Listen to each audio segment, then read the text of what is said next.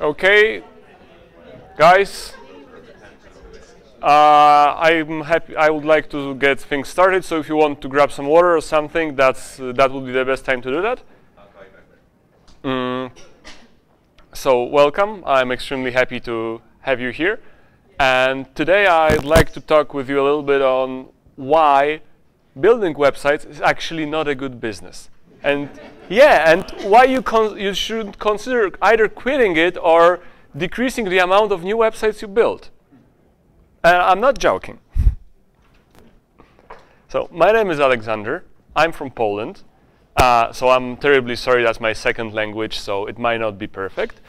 Uh, I started my own career 15 years ago, which is exactly half of my life uh, ago, and as a freelancer. Then my business has grown into a 50 people, a 15 people agency. Uh, and then we realized that building websites is a nice business, but it's difficult to get your bills paid every month because sometimes it's either feast or famine. And it's difficult with this instability, especially if you have a lot of people or you know, or, or a, mortgage to pay. It's, it's not that a good thing if you don't know how much um, work you'll have and whether you'll get paid the next month or the mo month afterwards. So we started to do maintenance. That was our idea because we thought, ah, we'll get money every month, and that would be nice. Mm, but then we realized that the thing is that maintenance has not a good margin. Mm, and we were looking for solutions to solve that, and it occurred that there is none of them on the market. So we've built our own internal tool to do that. And then it occurred that it helped us so much that we decided to share it with uh, all people around. And that's Perfect Dashboard. And it became so successful that we stopped doing agency work, and now we're helping other agencies, web developers, freelancers, uh, to manage websites more efficiently. So now I'm no longer doing any agency work. I am the CEO uh, of Perfect Dashboard. And Perfect Dashboard is just a tool for website maintenance. Currently, we help almost 4,000 web administrators in 70 plus countries. And I'm telling you that because some of the data that, will, that I will share with you later today uh, is, uh, you, is comes from those thousands of websites that, have, uh, that we have access to so we can see what are the problems they're facing, how they uh, how they work with updates and things like, uh, things like this. Uh, okay, so you know a little bit about myself. I'd like now to learn a little bit about you. so I would like to ask you to raise your hand if you build websites. Okay, it means like almost everybody, every one of you do that. Thank you. And what about maintenance? Who offered maintenance? Okay, is there anyone who's not building websites but doing maintenance only? Not yet. I hope that after this presentation, you'll consider this path.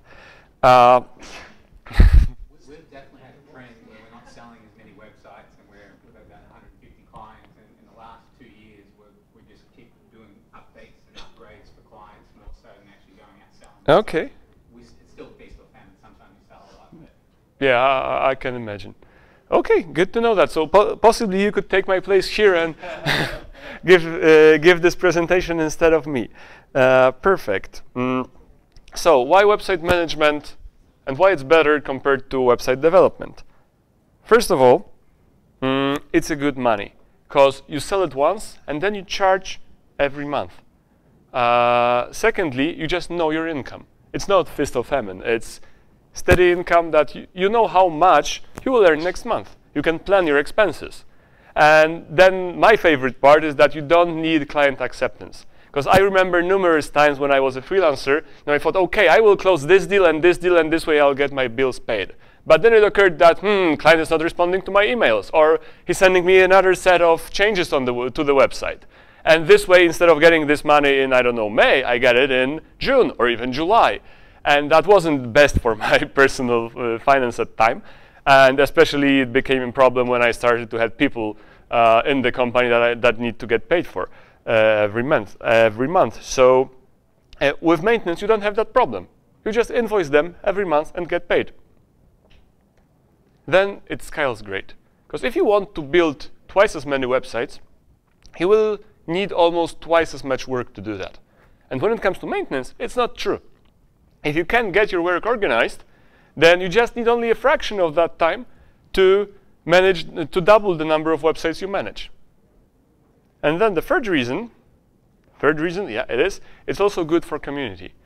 Because I think, bless you, uh, I don't know if you have heard that, but I hear it from people all over the world, and I, it, that's my 20th, 20th event this year, uh, that clients more and more are not interested in having websites on Joomla because they say, well, we had a friend of, uh, I had a friend of mine and he got his website hacked and it was on Joomla. You know, some, uh, my previous website was built on Joomla and it got hacked. And the thing is that actually Joomla, when it's up to date, is one of the safest CMSs out there. The problem is that if it's outdated, then it's a very easy uh, target for hackers. And there are automated hacking scripts going after those outdated Joomla websites and hacking them on the scale like 70,000 websites a day. Mm, that's, that's, and the more popular the website in, is in Google, the more likely it is to get hacked. That's why mm, if we keep websites updated and we manage them properly, we also protect the reputation of our project, this way helping all of us as a community. So that's why it's, let's say, an additional important reason why you should consider not to deliver websites and then say to clients, okay, then you know, manage it by yourself. Mm. So I hope that those three reasons are enough for you to at least consider uh, maintenance uh, in your company. But the question that comes after is, you know, how to find clients for that.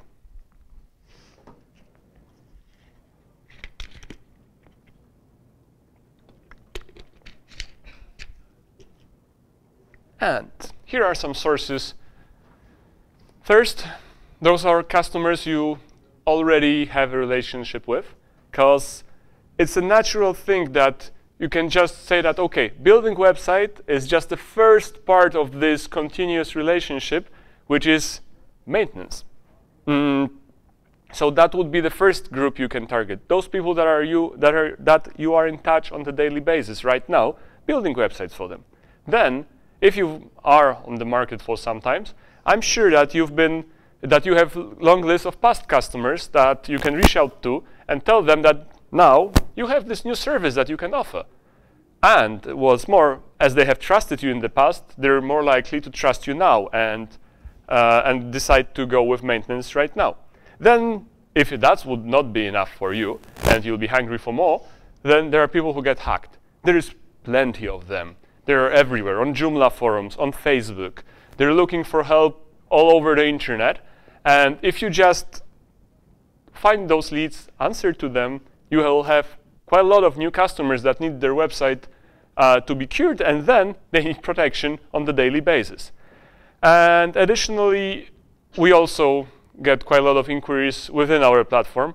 And as we don't do maintenance ourselves anymore, we just forward it to the best administrators uh, we have in the system from local communities. So if there's someone coming uh, asking us about help and he's from Texas, then we'll recommend someone from Texas. And we usually do it this way so that they have someone local to, to help. Of course, that's not the main source of customers and don't count on it as the main source, but yeah, we get more and more of those leads and actually we are actively looking for uh, administrators and we, we see how they manage the websites they have because we have this data thanks to their website being connected to Perfect Dashboard, and then we can send them the leads.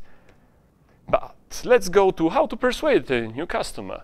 Uh, so usually I tell this small story that you know if you have a brick and mortar store and you have a slippery floor out there, and the customer will come and uh, he slip on this floor and you know twist her ankle or broke her leg, uh, everybody will, ho will hold you accountable for that. And actually, websites are no different. You are responsible for your customers because the hackers that are trying to get to those websites are not interested in the website themselves. Because usually there's nothing there. There's nothing very interesting in hairdresser's website. But some people, ah, sorry, I think I've went a little bit too far. Yeah, that's the place I should be, a new customer, yeah. So the thing is that, um, where was I? Uh, ah, uh, so uh, you yeah. Sorry? Yeah, slippery floor and holding accountable. Sorry, I've lost. Uh, I've lost my. Uh, yeah, exactly. thank you for that. Uh, okay, I, I, I help you. You know, you're welcome to join us on J and Beyond next year. It's in my home city, so you know uh, it will be very nice if you can join us. Uh, but to keep on uh, track, so websites are not that interesting uh, as the target for hackers, but there are people who visit those websites, and their mobile phones and their computers are an interesting target, because in your phones and your uh, and your computers, there is a lot of interesting data that can be obtained by hackers and used for some purpose. That's why websites are only the gateway. Mm, and you need to, one of the best way to get new customers for maintenance is to make them understand that their websites will be hacked in order to get to their end users and that they will be held accountable for that. Mm, so that's one way to do that. Another story I like is the car story or the car metaphor you have here. So of course you can buy a car and never do the checkup. And it will run for some time, I'm sure. But doing regular checkups is the best way to keep your car in a good condition. And website is no different from that. And then here's come, here comes my favorite metaphor. It's the garden metaphor. Because if you plan great garden and you just stop doing anything with that, it won't look the same in three months and six months and a year time. Because to keep it in the shape, you need to preserve it. And that's exactly the same thing with website. So those are three strategies I used to use when I was selling website maintenance myself. And from what I hear from people from different communities that I speak to, it, it's quite successful still, so feel free to use it. No copyright here. Mm, but it is different when it comes to existing customers. Because if you have built something for, for someone three years ago, well, you can't tell them now that they are responsible, because you should have told them that three years ago. So here are some tricks what to do with the existing customers. Uh, first, there is my favorite bullshit argument, uh, point, that, you know, times they are changing. Yeah, new technologies are changing quickly. You need to adjust, and you need to, you know, refresh your website in order to protect your brand reputation. Works quite often. But when it comes to Joomla, we have a better point here. Because as you know, a few weeks ago, there has been a huge security loophole detected. Uh, and all Joomla websites need to be patched in order to stay secure.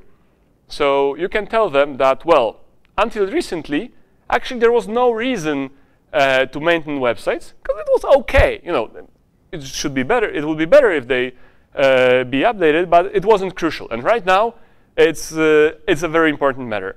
So that's why they, uh, they should start working with you right now, and that's why you're starting to offer this new service if you haven't offered them yet.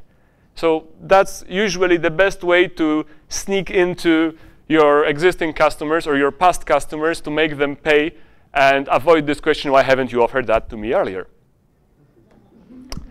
So that's, that's a very important point, because not every website is ready to be maintained from the day one.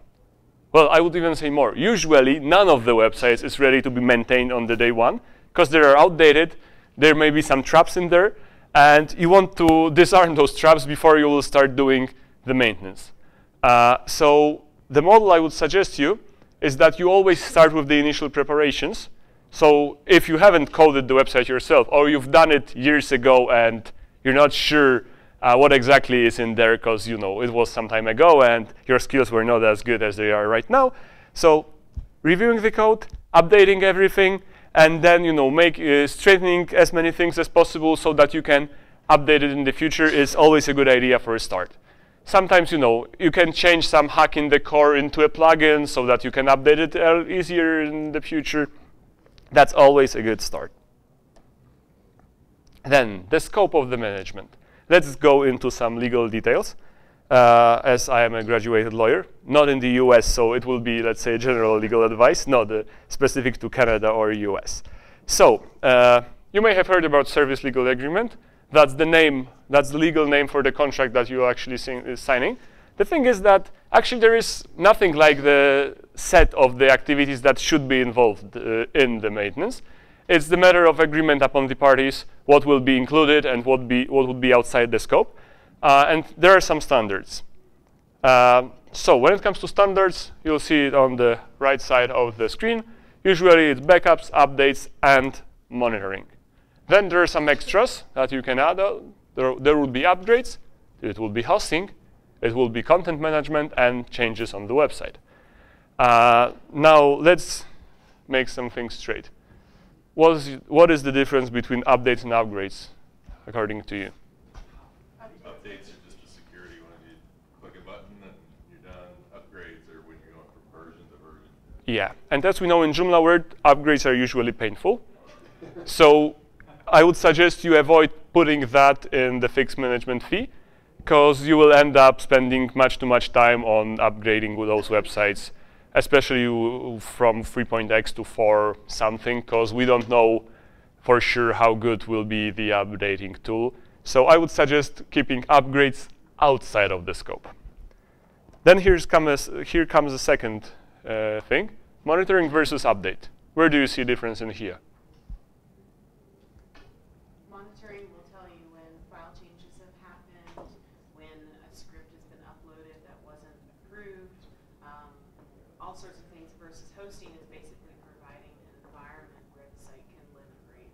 Yeah, that's that's mostly the thing. And the th the part that I want that I'd like to emphasize here is that if you're responsible for monitoring the website, you only have to know when the website is down and then let the hosting provider know, hey, the website is down. You should do something about it.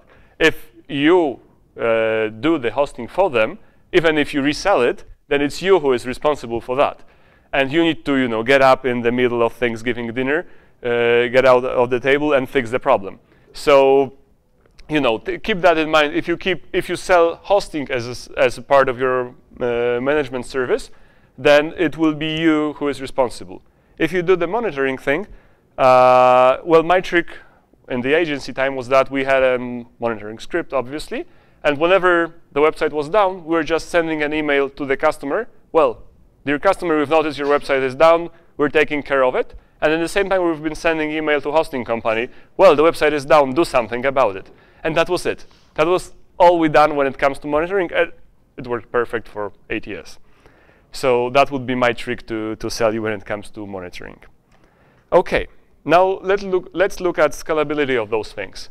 So some of those services scales pretty well, which means that you can increase the number of customers without increasing your workload significantly. And some of them are not very scalable like upgrades, we've discussed it before, content management, because every time you had to add the new article, you need to spend some time on that. It's difficult to automate it. And then, of course, changes on the website, because it's, it's always painful. So if you want to keep maintenance scalable, stick to those in the first row. Then let's discuss the price. Mm, OK, so maybe we should start with a little exercise. Can I ask all of you to stand up for a minute?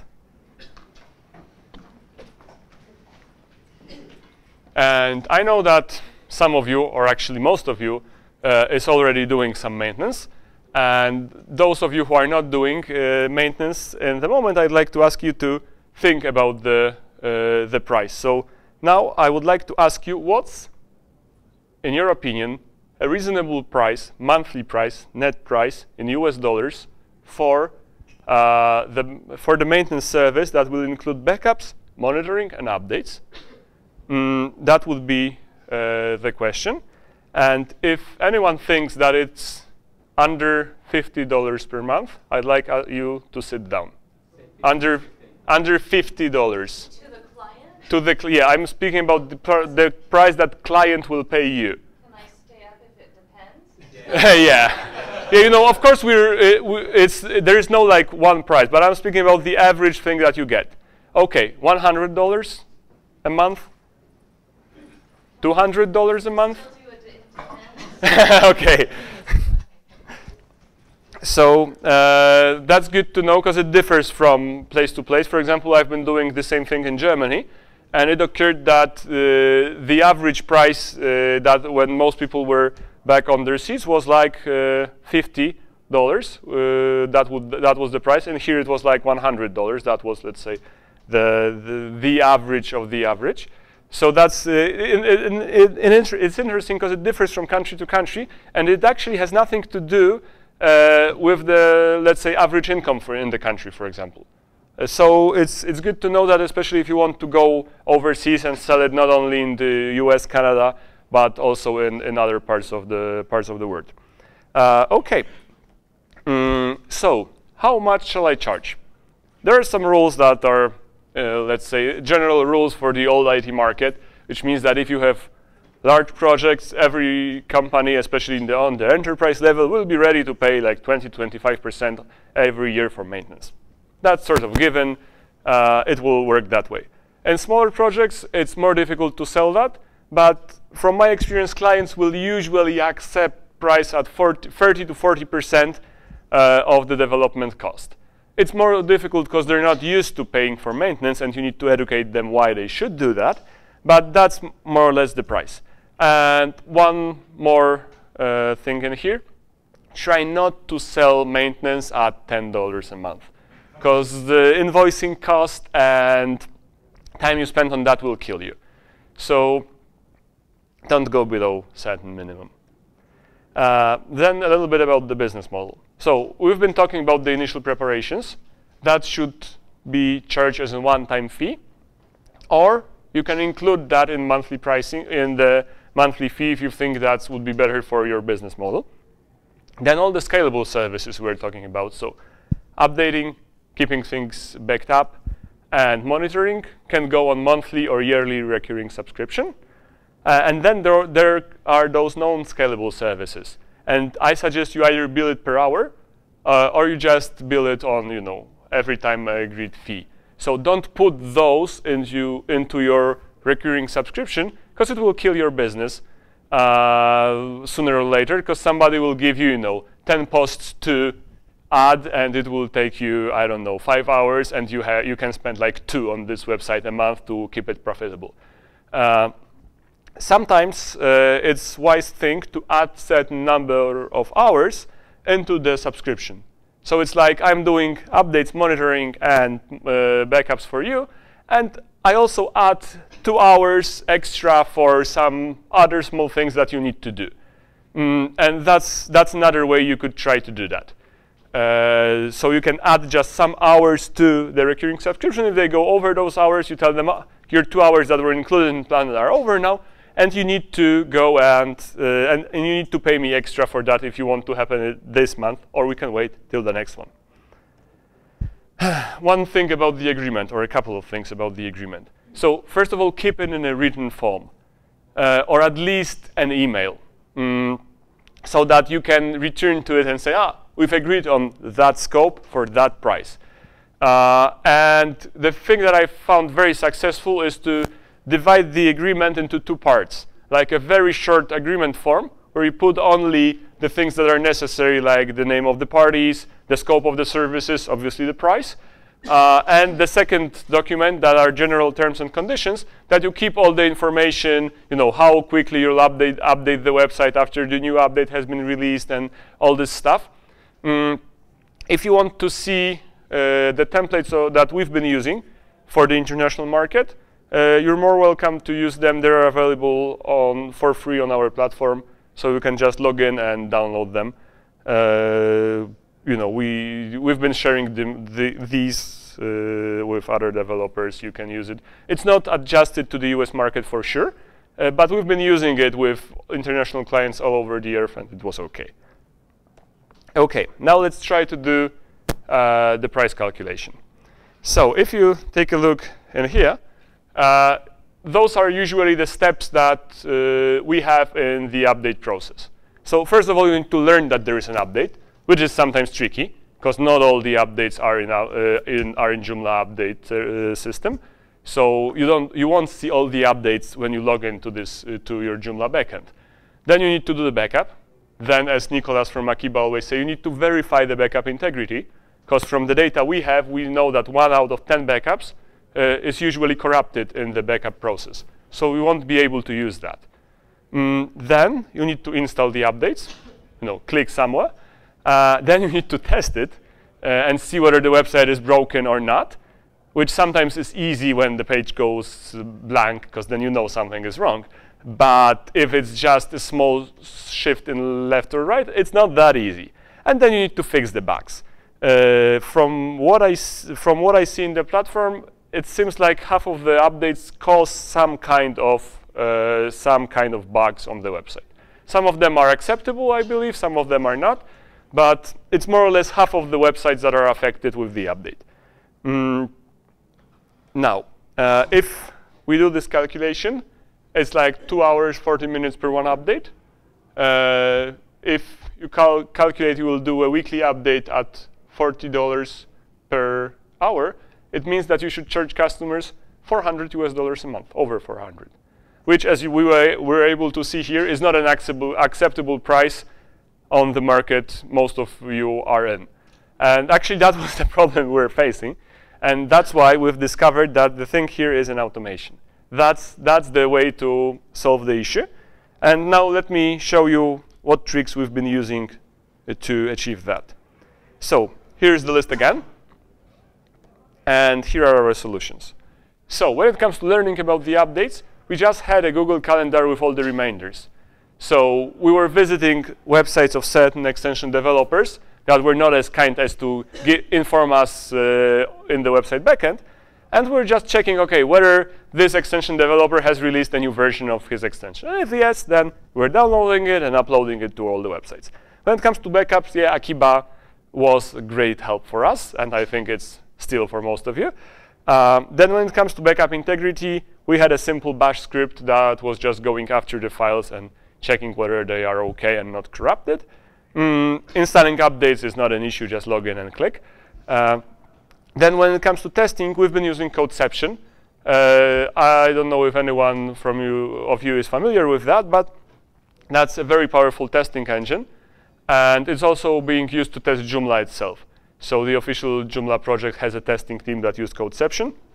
The issue with it, it's very simple. It uses very simple PHP that even a person that uh, do not know, does not know the P, uh, PHP can use it. It's like I see, and you put the name of the element you see. Like you know, I see, and you put the header they want to, they should see. So the string that they should see. It's, it's really easy. You uh, every every person can write code. Uh, of course, it becomes tricky. Uh, it becomes tricky when it comes to details, and sometimes it's might have hate using Codeception. But once you do the test, they are really helpful. Uh, but of course, you need to write them first. That's, that's an issue.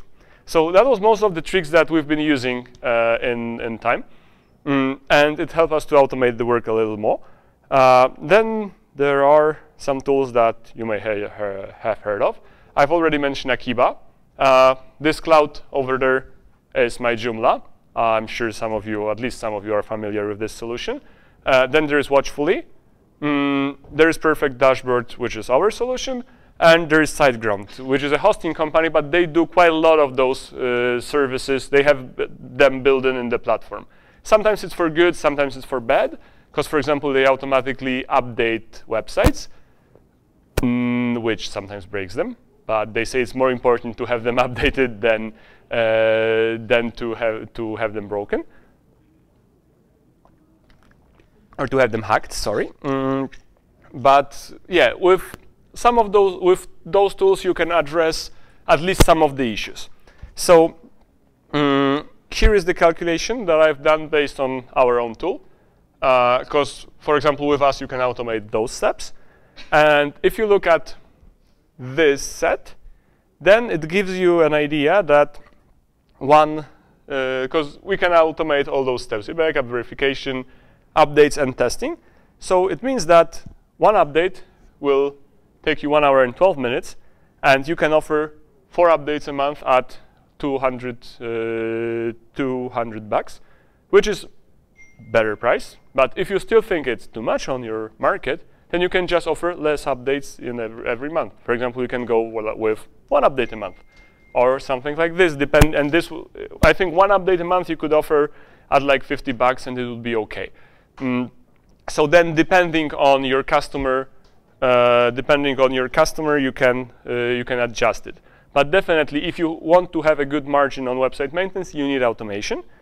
Mm. And uh, that's, that that's what I've discovered throughout my journey and my discovery as a person that has been running, uh, let's say, one person freelance and then uh, moderate agency. So that was mostly what I wanted to share with, mostly all what I wanted to share with you. Uh, I would like once again to ask you to join me on this crusade to make internet a safer place and keep the websites updated because it's good for your business and it's also good for the project, which is more and more important because you hear, you hear all those sad things about Joomla and you know there its uh, its future in dark colors, and it's not. It some parts of it depends on you, and the more websites you keep up to date and secure, the better Joomla future will be. So it's up to you, and I hope that together we can make internet a safer place and Joomla a more popular CMS. Thank you.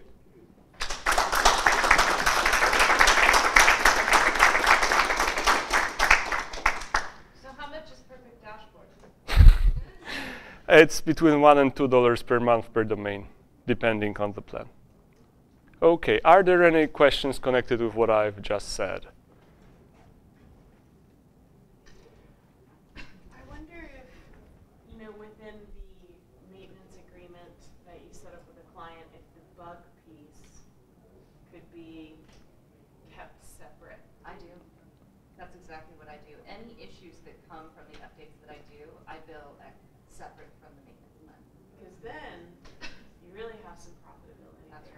That's true, because uh, bugs are usually the difficult part because they are there and it takes, it takes time to eliminate them.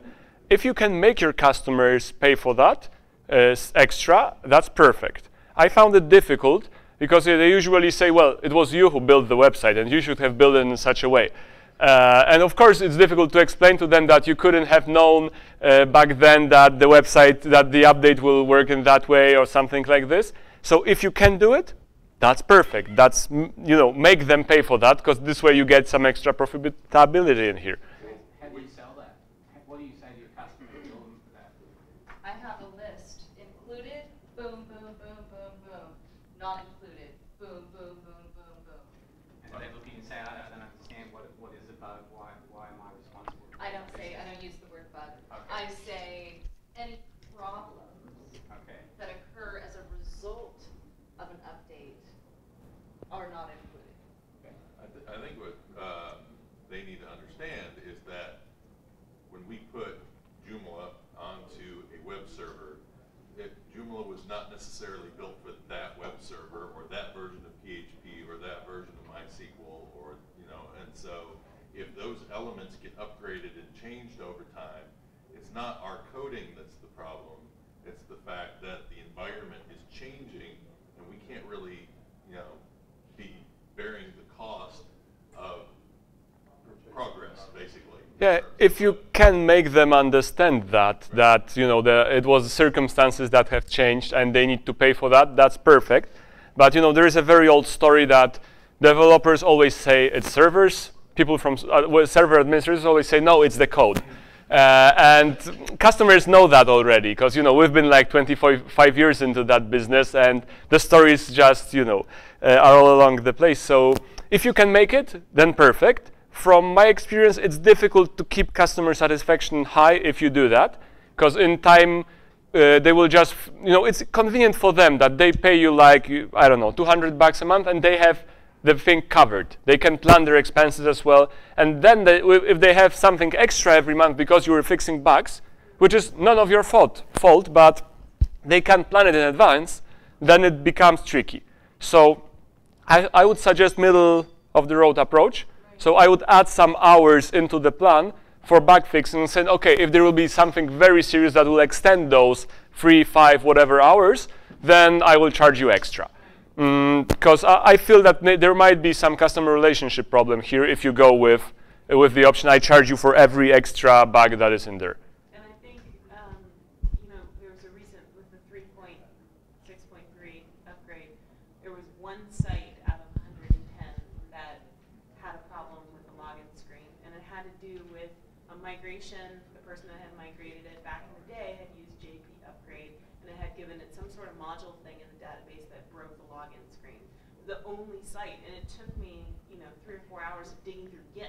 GitHub Mhm. to figure it out. So in that instance, charge the client. But if it's something that's happening on all the sites as a result of a Joomla upgrade, you go in, look at the Yeah, then you charge the Joomla project. Uh, but the thing is, the middle of the road thing where you say, well, in certain instances, the client should bear the cost because it was above and beyond.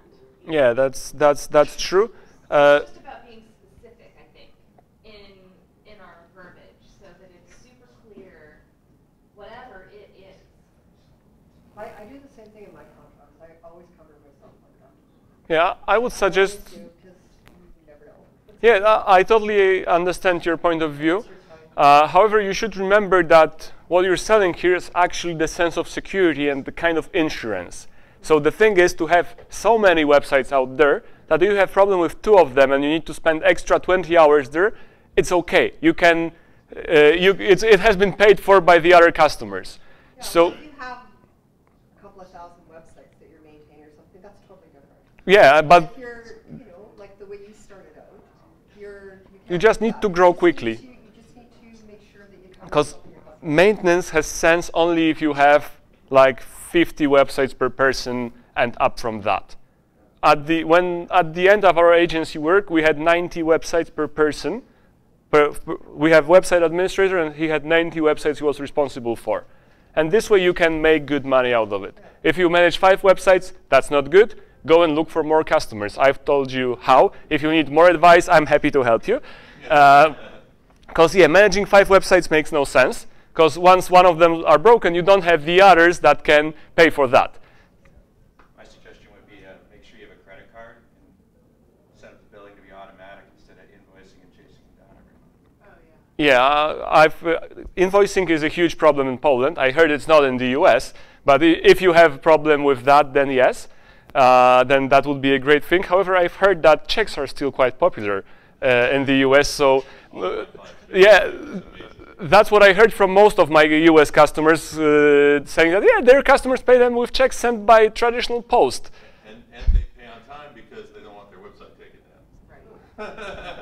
Okay, that's. a little edge, Yeah, but if you can do it using credit card billing, yeah, that's even better because this way you are, you know, it will be there. However, you know, we bill our customer credit cards, and it's not that good actually. Uh, we get like 20, 25% rejection every time because somebody has run out of uh, his credit limit, uh, or that's the debit card and his account is empty. You know, we all know we're working with freelancers. Mostly they have good and bad times. So we totally get it. So we really we are relaxed uh, with with that. Any more questions or suggestions, comments? Okay, if not, thank you very much.